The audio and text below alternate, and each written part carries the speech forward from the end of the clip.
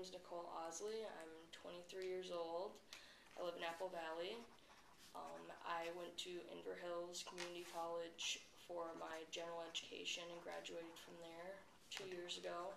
I was thinking about uh, doing accounting for a while and then decided that I really didn't want to do that every day of my life and decided on architecture um, once I graduated and saw that DCTC had a program for it and it was close to home, so I decided to come here. In fifth grade, I won um, a Best Architecture Award for building a bridge Really? out of toothpicks. That's pretty cool. Do you still have it? no, I don't. I wish I did. It was always an idea. I took architecture classes in high school too. Um, that was mostly hand drawing for the first like year, and then the very last class that I did um, started us on AutoCAD, which is basically what we do in the program So you that I had was in AutoCAD before. in high school. I did, yeah, That's good. an earlier version, but pretty much the same thing. yeah, I really liked it. It was pretty challenging in the beginning, just getting used to being in a program where you do one thing all day. Because I was so used to having a bunch of different classes, like all day, doing a bunch of different things, and, and then just getting used to doing one thing all day. I really liked it, just like the hands-on and the small class size of being able to be helped by your teacher at all times, pretty much. I mean, I pretty much did the gen eds because I was still figuring out what I was doing, but I'm really glad that I did that first now because it was a big challenge for my other classmates to fit all that in because my first semester it was 17 credits just doing the architecture.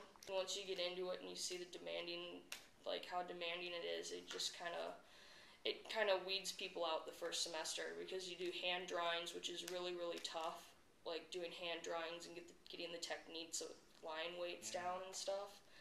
And Charles was he was a tough teacher, but he he made it so the people who really wanted to be there were there. Yeah, At the end. Yeah, I'm kind of a perfectionist, so I really like the straight lines and stuff of Yeah, okay. architecture and drawing itself. I really, I kind of liked it. But then once you get on the computer, you're kind of like, I don't think I could ever go back to doing hand drawings because it's so much easier to do it on the computer. But the whole thing with doing hand drawings is to get the technique of like what line weights you should be using and the just And the drawing it and knowing what you're doing. And that's the whole purpose of doing the hand drawings in the first semester. I want to be in a firm. I want to be doing drawings. I want some some design um, opportunities, but the whole reason why I really I mean, I'm more into like the technical stuff kind of of like doing the drawings. I don't think that I could do the whole like designing an entire building. It's like so much work, and that's why you're working in the team. architectural technology. You're working under an architect. You're working for an architect. So it takes a long, long time to become an architect, and I really, I just want to be working for an architect, have some responsibilities with um, design.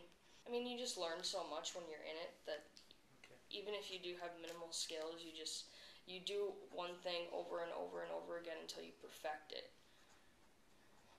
in architecture because we work with the hand drawings until we perfect the hand drawings and then we start with AutoCAD and just as you go on you perfect what you're doing and you turn in drawings so many times until they're absolutely perfect. The project that I'm working on is a portable art gallery for the Dakota County Arts Commission. It is a project that we were given at the beginning of our second year in the architecture program by Beverly. The Dakota County Arts Commission came to DCTC um, asking us to come up with several different designs, like everybody in our um, in our program did a design. Well, they gave us um, like the criteria of what they needed, like how big they wanted it, like what they wanted to be displayed in it, um, just some features that they want really wanted in there. And so then they gave us the challenge of coming up with ideas for it. So then everybody in the class came up with their own, and You won. I did. Good we went through a process of the students um, picked their favorites, and then after the students picked their favorites, the actual Dakota County Arts Commission came in and looked at all our all of our designs, and they picked mine. That's. I bet you were happy that day, huh? Yeah. well, also I was in a group with three other guys, and I was the one girl in there, and they picked mine. Because you come up with these ideas. When we first started this, we came up with the ideas, and then once we had the ideas, you had to make it actually stand up and work Yeah. because like you're not completely focused on that when you're doing a presentation drawing. A presentation drawing is just showing the client what it will look like, what like basically look like. It doesn't have any dimensions on it or anything. So once I came up with the idea, it was more like this isn't gonna work because it's too tall. This isn't gonna work because it's Yeah. too wide. This might fall on somebody. A kid might trip over this. I think the thing that they really liked about my design was that everything could be taken down easily because all of them are pan like single panels that can be taken off and put That's into a truck.